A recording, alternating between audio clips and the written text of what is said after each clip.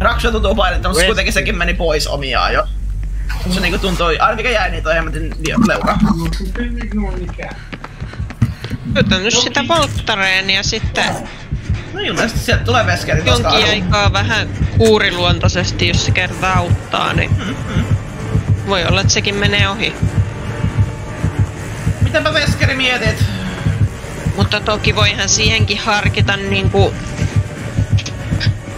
joko hammaslääkäriä tai sitten... No mä innoittavaa, kun toi hammaslääkäri on niinku viimeinen vaihtoehto, tää kun on helvetin kalliit. Öö, tai sitten tämmöstä öö, hieroja osteopaatti, jotka tekee just noita... Joo, sen vois ehkä kyllä kokeilla, mutta... Kuru. Se... Täällä on ainakin semmonen yksi hieroja, jotka tekee just nimenomaan noita kasvojen niin kuin ihmisille, jotka esimerkiksi narskuttelee paljon tämmöstä. Niin... Joo, se on tosiaan narskuttelee täällä tosiaan hammas, hammas on tosi kallis. Joo. Niin vois sitä hieronta semmoista Vittu mistä suunnasta se tulee? Se on mun perässä täällä kirjastossa.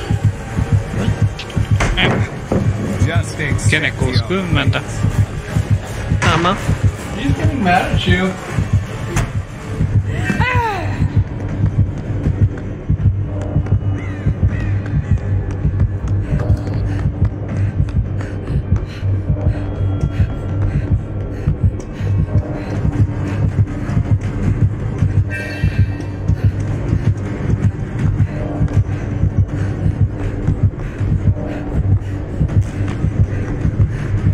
Mulla tulee nykyään enemmän taas kun... Mä en tiedä, mulla oli välissä, että mä en tehnyt sitä, mutta nyt mä teen taas, kun mulla on töissä käytän maskia. Ja se, että se maski nousee mun naamalla silmiin, niin mä mun leukaa, leukaluulla, tiedätkö, avaan suuta niin, että se menee alemmas, niin tulee yllättäen tuota leuka kipeäksi, kun päivän aikana availet suuta, sitten mä pidän huomaa välillä, että jaa, mulla on suu auki täällä maskin takana. Ja sä Veskerto nyt meinaat? Bitch, my dad's ass. Wait. No, you need. Oh. You make him rage quit. No, yes, I, I didn't know. you made him ready to quit.